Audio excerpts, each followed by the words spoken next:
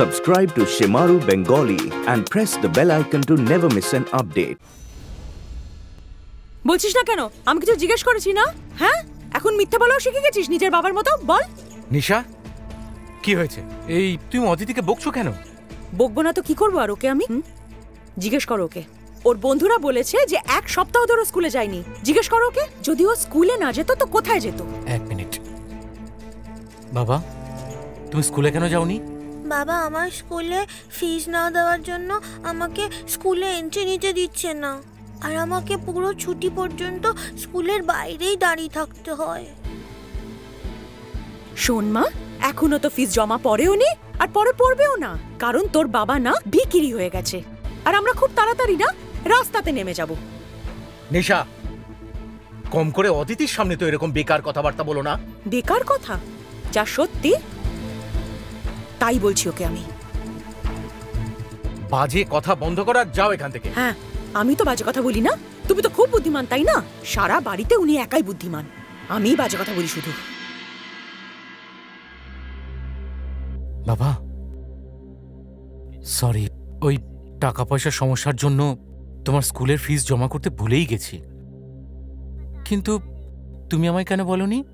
আমি বলতে এসেছিলাম কিন্তু আমি দেখলাম তুমি চিন্তা করে বসে আছো, তাই আমি তোমাকে বললাম না। কিন্তু তুমি একদিন সব ঠিক করে দেবে। আমার নিজের বাবার ওপর পুরো ভরসা আছে। আর তখন আমার আমার স্কুলের ফিস আর মায়ের সব উইশ সব পুরো করে দেবে।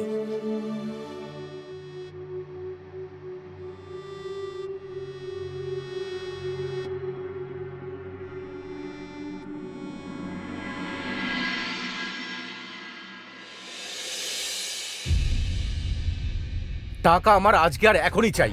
টাকা না নিয়ে আজকে আমি এখান থেকে যাব না। হুম। তো আমি কবে বারণ করেছি? টাকা তো রেডি ব্যাস তুমি আমার শর্ত মেনে নাও। তো টাকা তোমার না হলে ভুলে যাও।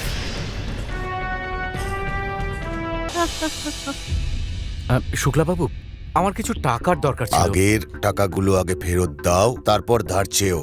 শুক্লাবাবু আপনার সব টাকা আমি সুদ সহ ফেরত দিয়ে দেবো। কিন্তু দেখুন এখন খুব টাকার দরকার। একটু হেল্প করে দিন না প্লিজ ক্ষমা করো ভাই আমি তোমাকে হেল্প করতে পারব না। শুক্লাবাবু হ্যালো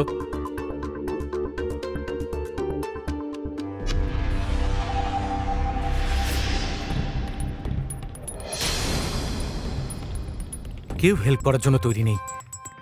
বুঝতে পারছি না এতগুলো টাকা কোত্থেকে আনব আমি?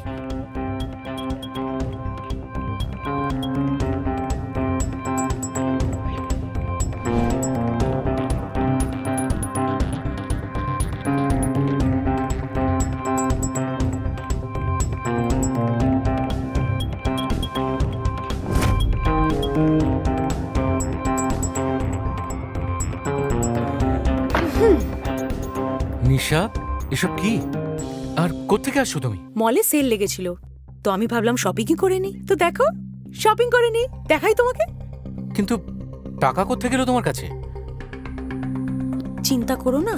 আমি কোনো চুরিও করিনি ডাকাতিও করিনি। তুমি যে চেনটা দিয়েছিলে না সেটাকে বেচে দিয়েছি। আর তার থেকে যে টাকাটা পেয়েছি তাই দিয়ে শপিং করেছি। কি? তুমি সোনার চেনটা বেচে দিলে? হ্যাঁ বেচে দিয়েছি। তোমার তো সেই ক্ষমতাই নেই যে তুমি বউকে এগুলো কিনে দাও। অসভ্য।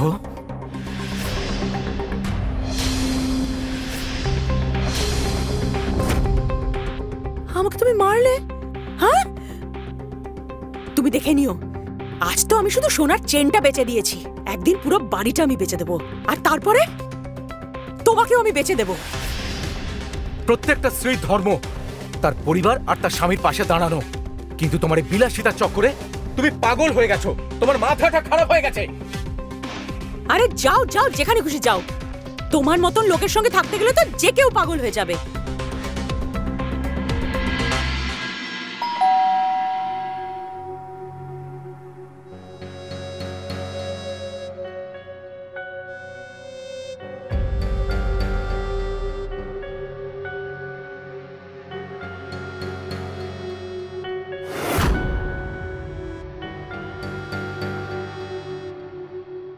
কেমন আছো নিশা বৌদি?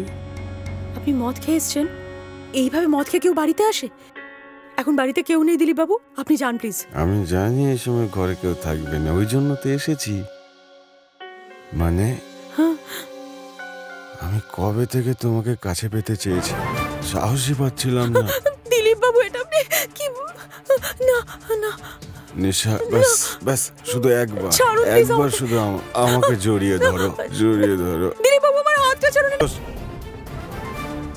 দেখ আমার কথা শোন। পাঁচ মাসের ভাড়া তুই আমাকে দিসনি। আরে ভাড়া চাইছে কে? শুধু একবার। শুধু একবার ওর সঙ্গে। কি বললি? চল এক্ষুনি এই বাড়ি থেকে বেরিয়ে যা। নয়তো সারা জীবন তুই জেলে থাকবি। কোনো কারণ ছাড়াই তুই আমাকে জেলে পাঠাবি? পাঁচ মাসের ভাড়া না দিয়েও তুই আমাকে গায়ে হাত দিলি? সন্তোষ গুপ্তা এটা তুই ঠিক করলি না। দেখে নেব তোকে আমি। আরে বেরাও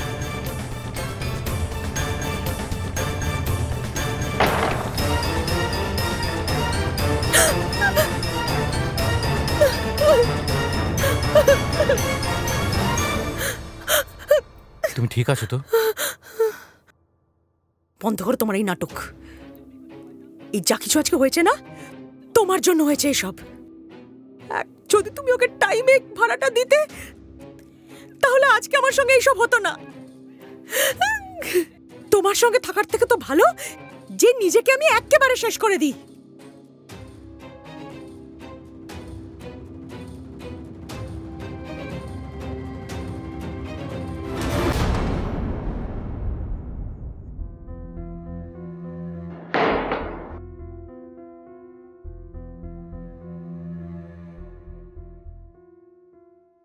গীতার হাজবেন্ড না?